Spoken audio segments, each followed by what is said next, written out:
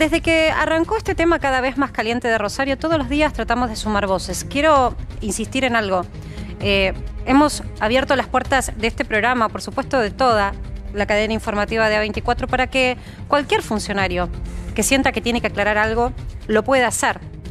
Eh, no hubo respuesta, buscamos a Aníbal Fernández y buscamos también con insistencia y vehemencia a toda aquel que dentro del Gabinete Nacional pueda aclarar algo, también al gobernador de Santa Fe.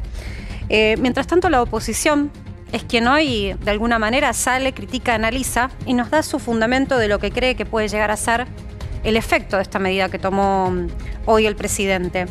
Por caso hoy, vamos a preguntarle qué opina a Juan José Gómez Centurión que nos estaba escuchando. Ustedes saben, él es oficial retirado del ejército y también fue titular de la aduana y, ex candidato a presidente. Tiene una mirada fuerte sobre cómo tiene que realizarse en realidad el movimiento de seguridad en Argentina. Pero Juan José, ¿cómo estás? Eh, te doy la bienvenida oficialmente. Me interesa ver tu opinión sobre esta problemática tan particular porque vos sabés que yo mm, eh, hoy miraba en redes sociales y son muchas las, no sé si serán verdad o no, pero muchas denuncias de familiares, de militares que dicen, la verdad es que no están los oficiales preparados para este trabajo que se les está pidiendo. ¿Qué opinas vos sobre estos comentarios? A ver, eh, arranquemos, Marcelo, si me permitís, con un breve análisis del, problema que estamos viviendo. todo, tu, tu, introducción, que fue muy buena, eh, lo que está describiendo es el síntoma, no la enfermedad. La violencia en Rosario es el síntoma de la enfermedad que es el fenómeno del narcotráfico. No es el menudeo en la esquina. Lo que está enfrentando hoy el Estado Nacional es, son organizaciones transnacionales muy poderosas, infiltradas en la política, en las fuerzas de seguridad, infiltradas en la justicia, con alta capacidad de corromper el Estado, en un negocio que es millonario y que a veces lo asimilamos con esta mirada que nos dan los medios de eh, el narcomenudeo de la esquina del otro día del incidente en Rosario. Cuando el ministro Fernández está hablando y está operando, está llevando gendarmes, 1.800 eh, gendarmes, está operando sobre el síntoma. Es como si en una pulmonía grave vos te concentraras nada más que en la fiebre. Está bien bajar la fiebre, pero el problema es la pulmonía. Si no atacás con antibióticos, el paciente se muere. Absolutamente de acuerdo. el problema de Rosario no es Rosario. El problema de Rosario es el río Paraná que hace más de tres décadas que está abandonado en el control del Estado, y es ahí por donde ingresa la droga, fundamentalmente porque ingresa por ahí, también en avionetas, también por la Ruta 34. Es un Estado que desde hace más de 30 años es un Estado fallido que ha perdido la capacidad de controlar el territorio. Ahora, cuando vos me preguntabas recién lo de los militares, eh, yo comprendo los comentarios. Ahora, si el narcotráfico es una amenaza a la soberanía nacional, al Estado nacional, bueno, eh, los militares lo que tienen que hacer es adaptarse y aprender a colaborar y aprender su tarea para resguardar la soberanía. Mm, pero ¿hay instrucción lo suficiente como para que, más allá del despliegue físico, que por supuesto en principio amedrenta o puede llegar a dar cierta seguridad, hasta te diría psicológicamente, a ese pueblo que dice haber sido abandonado tantos años, eh, ¿tienen en sus manos las herramientas o gente que los instruya para poder actuar? Porque el narcotráfico se maneja de una manera distinta a otro tipo de delincuentes.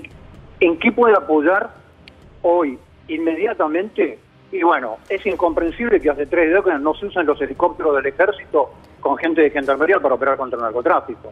Radares aéreos, radares de seguridad terrestre, inteligencia, capacidad de comando y control. Tiene una, una cantidad de elementos para apoyar. Y es que el Estado Nacional define claramente al narcotráfico no como el narcomenudeo, sino como una lucha contra un delito transnacional de organizaciones muy mm. complejas. Ahora, pero, Cuando vos estudias la historia de Colombia, la historia de México, eh, los estados realmente le han podido hacer frente al narcotráfico como lo, cuando lo definen como un adversario del Estado, que no es lo que está pasando. Y en esto, Marcela, acordate un poco que Aníbal Fernández es el inventor del concepto de la sensación de seguridad. Lo que están haciendo el Rosario es bajar la sensación de inseguridad. no es más que eso. ¿eh? Eh, ¿Qué tal, Ramón Indart? Te hago una consulta, yo hablaba con un periodista en México y me decía que el, problema que tenían allá era que había siempre un, problema en quién manda, a fin de cuentas, si la policía o el ejército cuando hablan de narcotráfico. ¿Cómo crees que se tiene que solucionar ese problema ahí? ¿Algún órgano superior por las dos fuerzas o cómo es? Claro, sí, Ramón, excelente pregunta. es hora de integrar en un ministerio las competencias de defensa y de seguridad. Cualquier ministerio tiene una secretaría que tiene una competencia y una secretaría que tiene otra, pero los recursos son los mismos. Entonces, esa es la solución, la integración de una vez por todas de un Ministerio de Seguridad Nacional que integre la defensa con la seguridad. Centurión. Esto es clarísimo. Mm. Sí, perdón. No, en, las últimas horas, bueno, el presidente habló de enviar aparte del ejército o al menos el, comando de ingenieros. Yo te quería consultar si, bueno, si lo ves útil esta cuestión y si consideras que tiene que ser cambiada la ley de seguridad interior, porque claro, el ejército no puede tener armas y no puede estar armado en territorio nacional. ¿Vos qué pensás al respecto? Hay que cambiar la reglamentación de la ley de defensa. Hay que sacar la reglamentación Rossi, que se hizo en el año 2020 y ponerlo en una reglamentación como corresponde. Eh, no es tan complejo el tema. A ver, el Ministerio de Economía tiene una Secretaría de Finanzas que tiene una competencia y una Secretaría de Comercio que tiene otra competencia pero no es tan complejo el tema. Mm. No, a ver, Juan José, en principio vos sabés que ayer, eh, por eso te, lo quiero compartir, eh, en esto que estamos haciendo, que es ocuparnos como comunicadores, incluso de escuchar eh, distintas opiniones con otras experiencias, con distintas experiencias, independientemente del color político al que pertenezcan, ayer estuvo Luis Juez en el programa. ¿Y sabés qué advirtió? Que nos estamos quedando chicos con pensar que solo es Rosario. Te quiero compartir un fragmento de ese reportaje porque quiero tu opinión. No sé si lo tenemos. Ah, ahora lo vamos a compartir. Él, se los comento, básicamente lo que decía es que Córdoba también está de alguna manera abrazada por la red de narcotráfico y compartía la preocupación e invitaba a, en realidad a los gobernantes, a quien sea que le ocupe también responsabilidad, a blanquear lo que sucede en Córdoba. Digo, Córdoba, Santa Fe, Buenos Aires, estamos hablando de las principales ciudades del país. ¿Qué opinión tenés, si tenés alguna opinión o análisis o información sobre esto? Sí, claro, el gran, el gran Tucumán, el gran Córdoba, el gran Rosario, el gran Buenos Aires, el límite de la ciudad de Buenos Aires. Y cuando el ministro de Seguridad dice que Argentina es un país de tránsito, Argentina es un país de producción de clorhidrato de cocaína, entra pasta base y se cocina en el Gran Buenos Aires, en el Gran Rosario, en el Gran Córdoba, y de ahí sale exportada para Europa. Esta es la situación de la Argentina. Y yo tengo un desafío, Marcelo, para que veas lo que te estoy diciendo. Cuando hay cocina, hay un subproducto perverso que se llama Paco. Claro. ¿Sí? El Paco es tan barato en el mercado que no se lo puede trasladar de un lugar a otro porque se vuelve absolutamente improductivo desde el punto de vista del precio. Entonces, cuando vos encontrás picos y lugares de Paco a muy poco rastro ahí en ese lugar, hay cocina. Yo tengo el desafío hoy que vos te vayas, cuando caiga el sol, a la avenida Mancio Alcorta, la avenida que pasa por la, cancha por la cancha de Huracán, y la recorras de ahí hasta la Villa 1114, hasta la Zabaleta. Y vas a ver los chicos del Paco. Ahora, eh, José, cuando se plantea esto, sí. Te, estoy hablando a, 30 cuadras del obelisco, ¿no? Sí, es más, te, voy a decir algo porque también lo hablé con gente del gobierno de la ciudad, lo digo públicamente. Em, me, ha pasado de estar en Constitución. Constitución, centro neurálgico de la conexión ambas, Ciudad de Buenos Aires, Gran Buenos Aires. Cientos de personas pasan por allí. Y me ha pasado, cae la noche, empieza el atardecer y en ese lugar en donde debería estar el foco de toda la seguridad, empezás a ver los efectos de lo que son como fantasmas, son como... Mira, hay un dato clave, a ver, quiero tener la mirada de Las víctimas del Paco. Esta mañana... Pero espera, déjame decirte algo más, Ramón, porque ¿por qué lo cuento esto? Porque con preocupación, por supuesto, lo expresé trabajé muchos años en barracas sin constitución y lo expresé. ¿Qué me dijeron? Y lo que pasa es que en la zona las casas están habitadas por prostitución.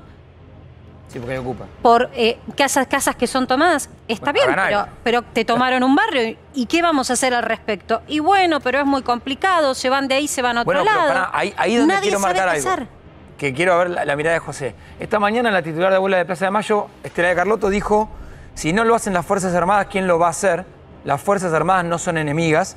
A las pocas horas dijo, deben estar en su lugar en los cuarteles. ¿Vos crees que acá hay una cuestión ideológica por el tema militares y la dictadura?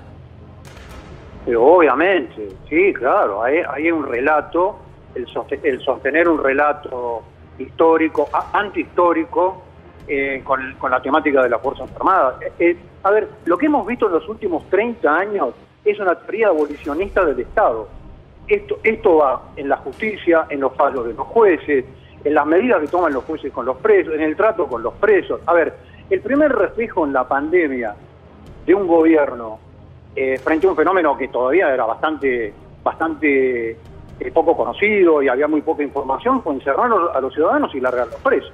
Sí. Es, esto es lo que hemos visto en la Argentina, pero más allá del color político, esto es un reflejo de la política argentina hace más de 30 años y hoy estamos viendo las consecuencias. Han desarmado el Estado. Te digo, eh, hablamos de ideología. E, es una discusión que me parece, por empezar, que me parece que ya pasó de moda porque creo que, estamos hablando de personas que ya no están más en funciones y que hoy hay muchos militares que son muy nobles, que vienen incluso a veces del interior del país al Colegio Militar de la Nación para poder tener un futuro, porque en sus ciudades oriundas no tienen un futuro asegurado económico. Eh, creo en la buena fe de esa gente y por eso lo reconozco, no meter a todos en la misma bolsa, una bolsa de una historia macabra que hemos pasado, pero macabro es esto también. Y yo creo que a la gente, al vecino de Rosario, le sienta mejor sentir que hay una reacción al abandono absoluto al que vienen sometidos hace prácticamente 20 años. Y no sé si más. Marcela, sensación de inseguridad. Seguimos atacando el síntoma, no la enfermedad. Mientras tanto, el paciente se muere. ¿eh? Es decir, el, narcotráfico, una de las características tiene que, que va armando sistemas de Estado paralelo, donde el Estado pierde el monopolio del ejército de la fuerza, pierde la capacidad de imponer. Yo, vuelvo al, principio del reportaje. Quiero, tu honestidad absoluta y, tu opinión absoluta, no por em, ser pesimista, sino por generar expectativas que sean justas también sobre esos hombres que entiendo y ojalá si sea de buena fe han ido a trabajar. Si se generó un estado paralelo, ¿se puede desarmar de esta manera? No, de esta manera no hay que hacer control de fronteras, ley de, ley de derribo, radarización de las fronteras, modificar la ley de defensa interior. De esta manera, dando atacando la sensación de inseguridad, no, no se corrige el problema. Ahora, ¿esto se, hace, ¿esto se hace solamente por ignorancia? No, se hace por complicidad. No hay narcotráfico sin la política, en ningún país del mundo. El narcotráfico es un fenómeno que está metido dentro de la política. Sí, eso hay que empezar a ver los fondos negros de la política, el dinero negro que maneja la política. Bueno, pero discúlpame, vos estuviste en una campaña presidente. Y creo que eso lo viviste en carne propia. ¿Cómo es? No sé si nos podés compartir y contar cómo es cuando vos tal vez no tenés una fuerza política grande, con una caja importante y tenés que hacer política y tenés que hacer una campaña presidencial. ¿De dónde salen los fondos? ¿Cómo se mueven? Es durísimo. Yo hice con, los fondos que me asignó el Estado que fueron en el 2019 18 millones de pesos. Ahora, un, un, punto que vos podés rastrear de la campaña política este año de las elecciones, Marcela, es el siguiente. La Argentina tiene 178.500 mesas de escrutinio. ¿sí? Desde La Quiaca hasta Tierra del Fuego. ¿Sí? Bien. Lo que vas a ver el día de las elecciones es que las dos grandes fuerzas políticas en el 2021 llegaron a pagar hasta 6 mil pesos a los fiscales para ir a fiscalizar. ¿De dónde sale esa plata? Esa plata no sale de los fondos de campaña, porque no se puede rendir. Ah. Eso es dinero negro. ¿De dónde sale? Esos son los temas que el periodismo no se pregunta. Bueno, no son empresas, empresarios, ah. ONGs. Sí, bueno, pero eso van en los fondos de campaña que se declaran. Ahora, el pago en negro de 5 mil pesos no se puede rendir en el fondo de campaña. Eso es dinero negro. Centurión, eh, estamos hablando de la política, todavía ni siquiera empezamos a hablar de la justicia, ¿no? En este caso, que es otro de los actores también, eh, me parece que son y juegan un rol clave. Yo te quería preguntar, bajo tu mirada, eh, qué tan cerca, qué tan lejos estamos de alguna situación similar o en proceso a lo que pasa en Rosario en otros puntos del país. ¿Cómo ves vos la situación, por ejemplo, del Gran Buenos Aires? Esto lo vivís en el Gran Buenos Aires casi a diario a veces algunos medios lo ponen de relevancia, otros medios no lo ponen de relevancia. La guerra pobre contra pobre en todo el cordón del conurbano guaraní es una cosa diaria. ¿eh? Hay canales de televisión que por ahí ponen una cámara y ahí se arma una bataola y la acusación para armar la bataola, ¿cuál es? Ese es narco, ese es tranza. Esto se vive en todos los lugares del Gran Buenos Aires. a ver, en el Gran Buenos Aires la preocupación de las mujeres es que la roban a las 8 de la mañana cuando salen a hacer las compras con los chicos. Esas son zonas liberadas. Ahora, pero José, ¿y, qué, hace, qué hace el ministro de Seguridad, Sergio Berni? Berni. Eh, pregúntenle a Berni. a ver, eh, lo que el rol que tienen que tienen los ministros de seguridad hoy en la Argentina es mediar en los conflictos, mantener las cosas más o menos que no se escape la tortura. Este, este es el punto. A ver, en la provincia de Buenos Aires los tres delitos eh, más rentables, digamos, son tres delitos logísticos. Uno, el narcotráfico que pasa por rutas en la provincia de Buenos Aires, la piratería del asfalto y el robo de ganado en pie. Robo de ganado que avigiato. Todos esos transitan por la ruta. A mí no una ruta de la provincia de Buenos Aires, andate por la ruta 5, andate por la ruta Pero, 7. Eh, ¿vos qué pensás, Juan José, que no hay control directamente o que lo que se ve visiblemente no controla? ¿Faltan en realidad puntos de control o los que existen en verdad no controlan? lo que está pasando, Marcela, es que el delito organizado ha hecho un acuerdo con distintos sectores de la política y no se lo ataca. No se lo ataca. Claro, pero ese acuerdo es un acuerdo en donde hay una convivencia necesaria y el negocio se lo reparten. Hay un negocio del cual, que es obviamente económico, del cual forman parte, no sé, quienes tienen que controlar la calle, quienes gobiernan. No, el problema es la política en la Argentina, no la policía. La policía es igual a la política. Si vos tenés política corrupta, vas a tener policía corrupta. Bueno, pero ahí, Centurión, perdón, cuando, cuando vos fuiste eh, director de aduana, vos fuiste director de aduana en la gestión de Macri por un breve tiempo, diciembre del 2015 hasta agosto del 2016. ¿Qué viste ahí? Porque evidentemente vos te fuiste porque algo pasó. Hasta, hasta noviembre del 2017. Perdón, sí, 2017. Y bueno, y ahí supongo que vos viste todo lo que pasaba en aduana, en los puertos y demás. Sí, lo que vi son las denuncias que hoy están todavía en la justicia. ¿no? Eh, lo que vi fue el Estado como una asociación ilícita en contra del ciudadano, por distintos organismos del Estado. Y lo denuncié. ¿Y tenías apoyo político? En un acuerdo político, es obvio que es política. No, digo, si tenías apoyo político para avanzar, porque te fuiste, te, echaron. No, no me echaron a mí. A mí, yo me fui en el 2017 a Banco Nacional, a la vicepresidencia de Banco Nacional. En el medio tuve denuncias, tuve una ministra de Seguridad que me denunció, fui a la justicia, salí absuelto.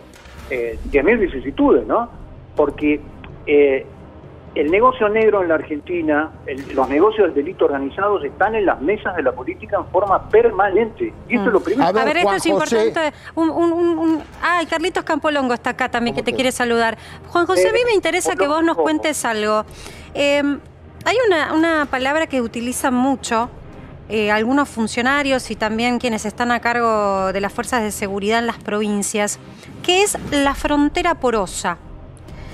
Y Claro, vos estuviste en aduana, obvio que de recorrido de frontera sabes. Es por donde entra todo.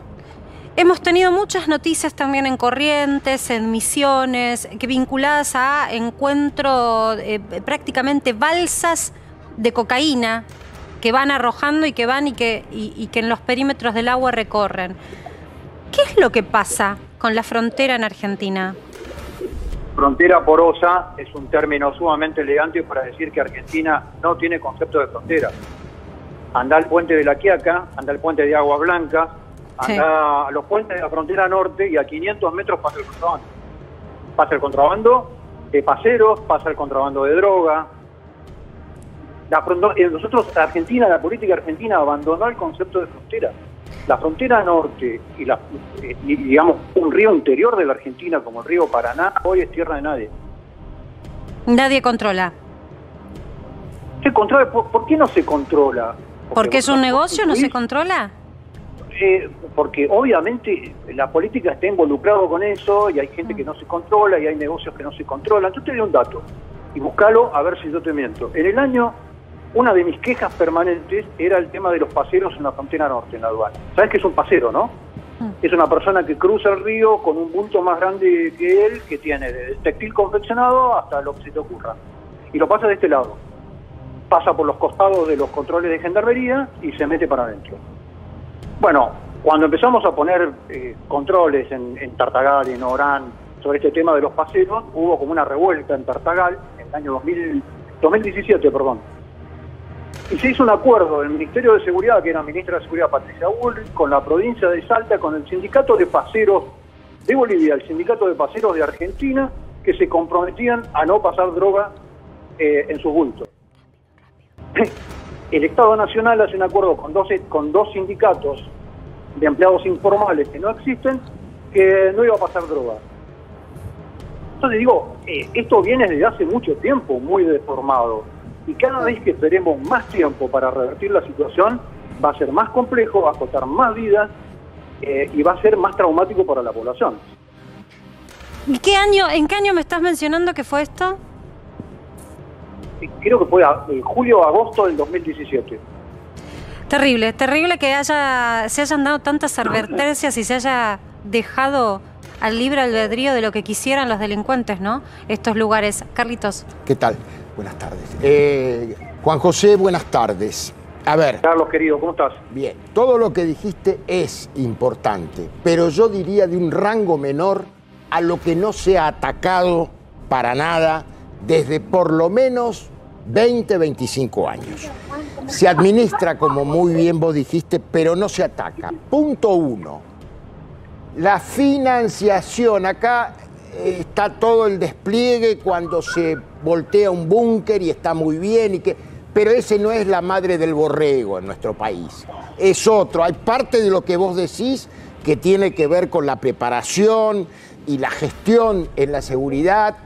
Río Paraná ni hablemos. Pero bueno, pero además lo otro, hoy, hoy da, está bien, yo no me prendo a eso, pero hoy da el senador eh, Parrilli, que por supuesto es del kirchnerismo, no sé por qué no se opusieron en su momento, pero dicen que esa nueva figura de sociedades, que se generan sociedades anónimas sin inspección de justicia, sin la rigurosidad que tiene. O te la aceleran con contactos, ¿no? Claro, ha sido una vía regia para los monos y el blanqueo de la plata, por ejemplo. ¿Qué decimos frente a eso? Porque no, el oficialismo ahora lo dice y la oposición se opuso en la Cámara de Diputados la oposición que eran ustedes en ese momento, ¿no? Sí, pero ahí, Carlos, ya estás hablando del proceso de blanqueo. Y ahí hay un organismo monstruoso eh, que nos regula la vida a todos que se llama FIP, que tiene toda la información, el sistema María, las computadoras, que teóricamente sabe todo. La WIF. Pero, eh, eh ni, hablemos, un organismo que no sabemos todavía para qué está. Eh, a ver, una de las cosas administrativas que hay que volver a repensar en la Argentina es este secreto fiscal ridículo que nosotros tenemos que maneja la FIP. Hay que, hay que cuidar la, la data de los ciudadanos y las sociedades comerciales, pero no puede haber secreto fiscal para una, una, una investigación en curso. Para pedir información fiscal sobre un ciudadano o una sociedad hay que, hay, tiene que ser la orden de un juez. Ahora, en la gestión previa de la causa, para que eso llegue a ser una, causa para un juez, hay que hacer la investigación. Claro. Entonces, para que un organismo haga un... ¿Cuál es la posición fiscal de Marcela en tema aduanero o en el tema de la, de la No, señor, lo tiene que escuchar un juez. Es ridículo. Hay que pedir ese pedido tiene que estar fundamentado en la justicia y por supuesto ahí es donde se levanta el, eventualmente secreto fiscal, bancario y demás. Todo lento y mientras tanto que llegar a la causa, ganan terreno. Totalmente, totalmente. Juan José, te agradezco enormemente haber participado para que sepas y te esperamos por supuesto nuevamente cuando tengas ganas. Estás acá más que invitado en el piso. Gracias por atendernos. Un placer, muchísimas gracias. Muchas gracias.